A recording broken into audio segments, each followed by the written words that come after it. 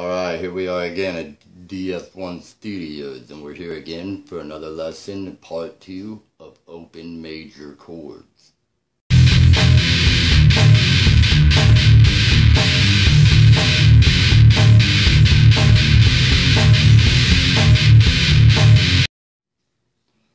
Alright, we're going to discuss the open major G chord and both different methods of it.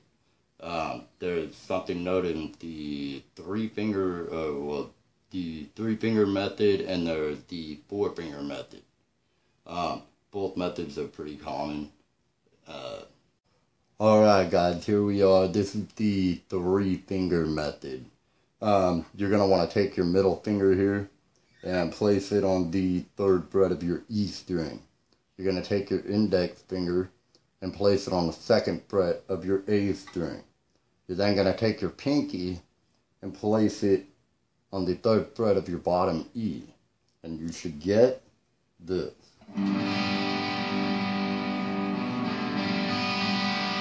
Or with a more cleaner tone.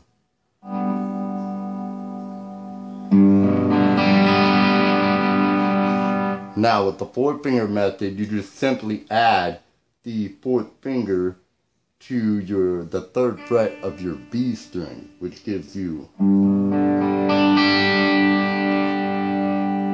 as you can see the difference, it kind of adds a little more color there to the chord. Alright guys, here's the C major. On this one you're going to want to take your uh, ring finger here and place it on the third fret of your A string. You're going to take your middle finger and place it on the second fret of the D string. And you're going to take your index finger here and place it on the very first fret of your B string. That gives you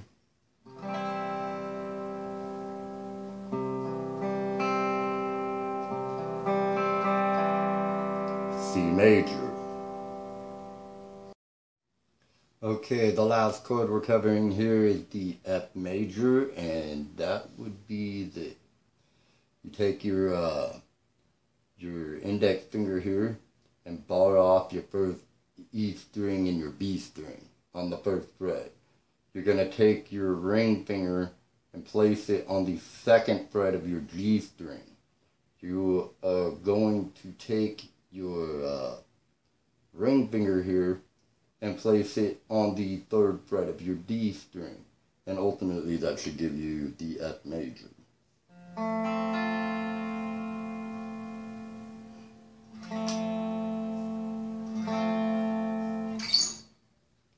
Alright folks, that concludes our video for open major chords. Uh, keep checking in and if you haven't subscribed, please do.